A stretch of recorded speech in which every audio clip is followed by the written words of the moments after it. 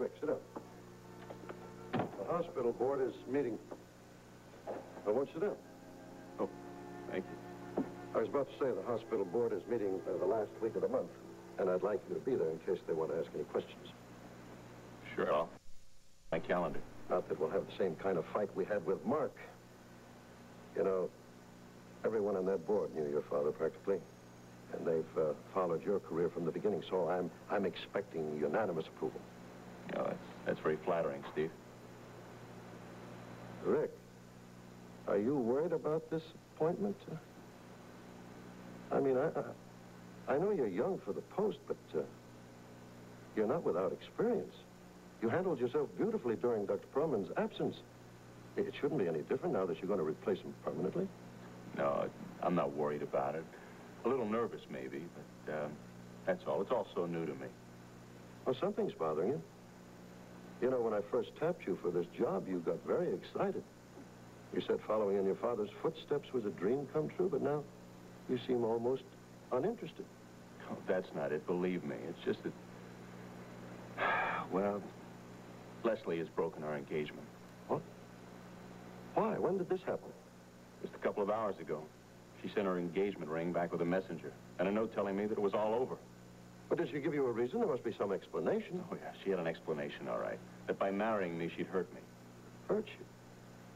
That doesn't make sense, does it? Well, not to me it doesn't. And I'm not sure just how much sense it makes to her either. You know, I raced over to the towers after I got the letter. I tried to pin her down. She gave me some kind of excuse about how she had mistaken gratitude for love. But I had declared myself to her at a time when, well, she was in an emotional mood. She was vulnerable. You know, she had just gotten her daughter back, and now she was carrying a child whose father was dead. And you think it's true? I know it's not true, Steve. Hey, Terry told me long before Leslie ever knew she was pregnant that she was in love with me. I mean, let alone getting Laura back. Now, there's something that she's not telling me. And I'm going to get to the bottom of it before this day is over.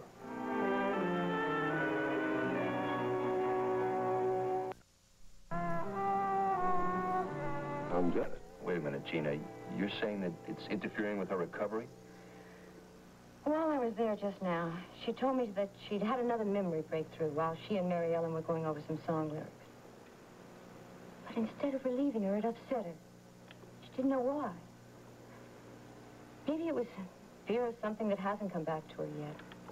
Well, if it was the beginning of her recalling the oh, car... No, no, it had nothing to do with that. She didn't go into details, but I gather it had to do with something that happened in her office. But that's not the point, Rick. I'm sure it's Mary Ellen's presence that's the real cause of her upset. Oh, believe me, my sister-in-law's had a talent for making me nervous since the day I met her. That's all Terry needs right now. Did you tell her that? Mm. I tried, but she wouldn't accept it. That's why I thought you should know.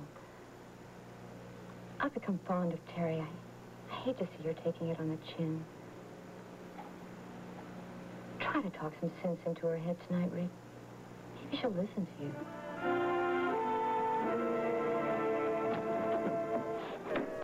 Steve tapped you for that post as department chief. Well, Leslie's been reevaluating things.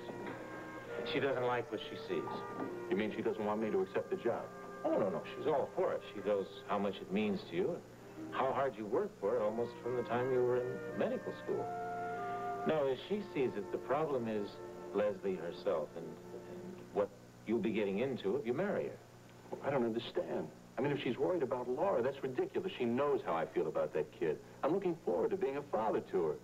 She knows you think you're looking forward to it. But she's afraid you don't know what a big change it'll make in your life. You know, going from bachelorhood to the responsibilities of married life, family life. Wait a minute. You're saying that she doesn't want to marry me because it's going to be too big a change? No, not, not that in itself. She's just afraid that it'd be too much for you to handle, uh, particularly in view of the added pressure of your new post. Thank you, Adam. You've just done me an incredible favor. She's been giving you a hard time, too. Huh? No, brother. You know, you're a very lucky guy, Rick. I mean, a woman has to really be in love to fret because she thinks she might be an added strain to her to-be husband's new plum assignment.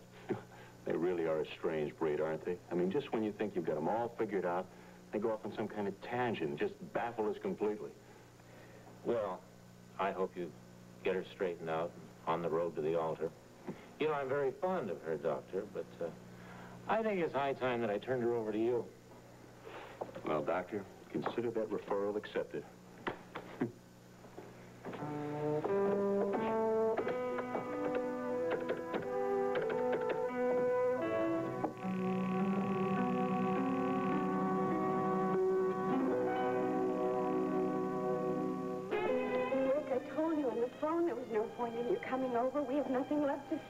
Say each other. I think we have a lot to say to each other. I mean, take that bit that, that you handed me in the letter about you mistaking gratitude for love. Now, tell me the truth. That isn't really what you meant, was it? Yes, it is what I meant. It's no basis for marriage. I'm sorry if I have to dispute that with you, my love, but I just spent a little time with Adam, and he's given me a whole new slant on the situation. Adam? Mm-hmm. When he was in here to examine you the other day, he told me that you were afraid about my becoming an instant father and husband, that maybe it'd be too much for me to handle, particularly in the light of the new post that Steve has offered me. Well, I do anything halfway, and and with such an important job, you'd, you'd want to put a lot of yourself into it, and, and to take on a, a new family at the same time. Leslie, I've been acting temporary chief of cardiac surgery for weeks now. I'm aware of the demands, and believe me, I can handle it, and be a devout husband to you and a good father to Laura. I know you try. Rick, Rick, how would you feel if for some reason the board wouldn't okay your appointment? I mean, I know it's far-fetched, but just suppose. Well, I- I'd be decimated. I've wanted this practically my whole life, but, but whether or not the board okays it has nothing to do with you and me. See that you haven't done anything with the ring. No, I was, uh, I was uh, trying to find a box to send it back to And why don't you put it back on your finger? I know you love me. The only reason you've been doing this is because you, you don't want to drain me. But, sweetheart, that's ridiculous. This post doesn't mean anything to me without you at my side to share it with Rick, me. please. Adam or no, I did mean what I said. I can't take back your ring. Marriage for us just was not meant to be. Les, I, I don't know what the hell's gotten into you, but you're not making any sense at all. And I'm not accepting anything back from you until you do make some sense. I'm gonna, I'm gonna get to the bottom of this. I'm gonna find out what it is that, that's gotten you like this if I have to hammer at you both day and night.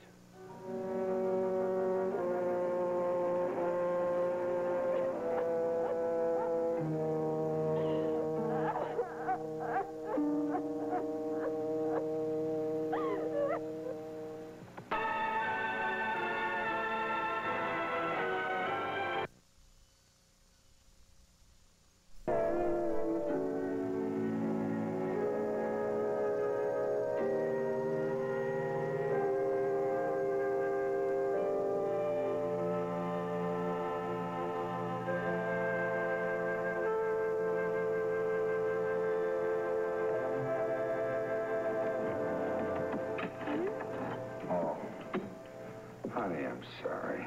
Hey, uh, you go back to sleep. This is your late morning at the hospital, remember? Oh, that's good. What time is it? Nine o'clock. I didn't hear you get up. Well, I didn't want you to. I got Martha off the day camp. Oh, thank you. Look, I'm gonna get some coffee, and then I'll come back and lick on you later, okay? Don't you want me to cook you some breakfast? Nope, positively not. You're a good man, Peter Taylor.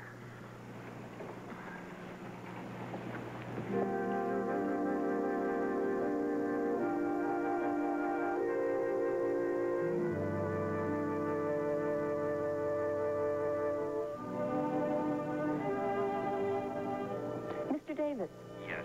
uh, this is Dr. Webber. I'd like to set up an appointment with you to discuss a legal matter. Well, I was expecting your call, Dr. Webber. Lee Baldwin's office called me yesterday afternoon and told me you'd be calling me. I understand you want to talk about a divorce. That's right. Um, would you be able to see me uh, this morning or today? Yes. Um, I could make it at... How would 10.30 be for you? Oh, 10.30 is fine. I'll look for you then. All right. Thank you, Mr. Davis.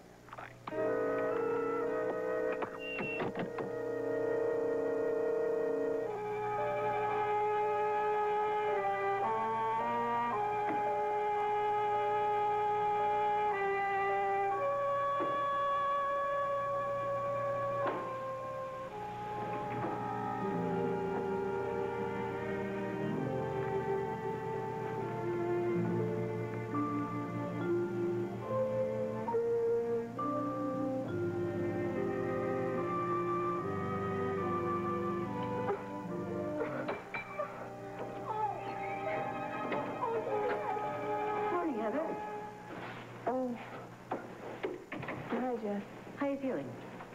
Okay, I guess.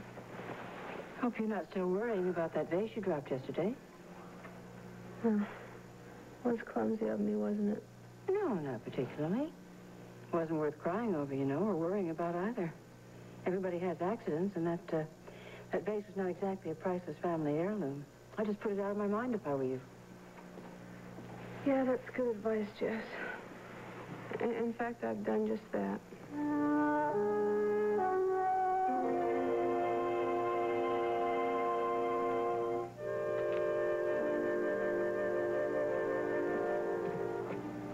Jeff. Hi, I was uh, looking for Mark. Oh, he's over at the university this morning, some kind of seminar. Mm-hmm. What are you doing here? Oh, I just asked Mark if I could use his office to do some work, and he said it was okay as long as I got these files cleaned up by the time he got back. so that's just what I'm trying to do. Good. Well, I don't want to keep you from your appointed task, so uh, see you later. Oh, Rick, wait a minute. Uh, I'd like to talk to you if you've got a minute. Well, I suppose I could take one if uh, the cause was worthy. Yeah, it is. You uh, want to talk about Monica? No, it's more important than that. Rick, I'd like to talk to you about Heather Grant.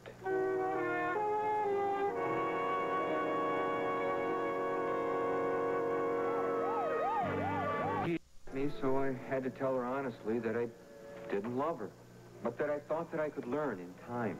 Uh-huh. What did she say about that? Well, I, I guess it wasn't the most romantic proposal she's ever had.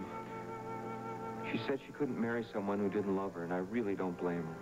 She's obviously a very sensible girl. Uh, she's a lot of things, Rick. She's honest and kind and more gentle than any girl I've ever known. Exactly the kind of girl I should be in love with. Jeff, uh, I don't know what you expect. I mean, you don't recover overnight from the kind of emotional upheaval that you've gone through. Now, why don't you give it a little time? And you'll fall in love again. You think so? Of course you will. What you have to guard against right now is, is the tendency that we all have. That's to overreact. Now, I know how much you want a child, but it would be wrong to marry Heather for that reason. I don't know, Rick. People have gotten married for worse reasons. Mm-hmm. And they've gotten divorced quickly, too. No, you don't get married and then expect love to follow. I mean, it, it has to be there to begin with. And then if it is, well, you got plenty of time to get married. I guess.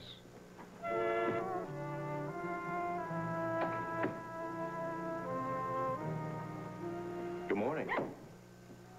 No. Hey, is this where the absent-minded meet to reminisce? Oh, I guess I was wool gathering there. Yeah, I guess you were. What were you thinking about? Uh, at that moment, I was thinking about Monica. And, uh, what she said to me the last time we talked, all that business about not causing you any trouble, and I was wondering how long her good intentions are going to last. You really do like to borrow trouble, don't you? Oh, no, I can't help but be concerned. She's, she's unstable. She's untrustworthy. Mm-hmm. And you also said that she sounded sincere. Well, yes. When she said that she loves you too much to hurt you, I guess I believed that. I don't suppose she'll ever stop loving you. She will. In time. Love needs some kind of nourishment to keep on living. Yes, love does, but obsession doesn't. You know, it really is sad to see somebody so obsessed by any kind of emotion. It is sad, Leslie. You're right. That's why I feel more sorry for her than I do angry. But hey, let's stop dwelling on Monica. She has no part in our lives. So let's not give her one, huh? Oh, you're right. You're right, you're right. With a little luck, she won't be a part of Jeff's life either for too much longer.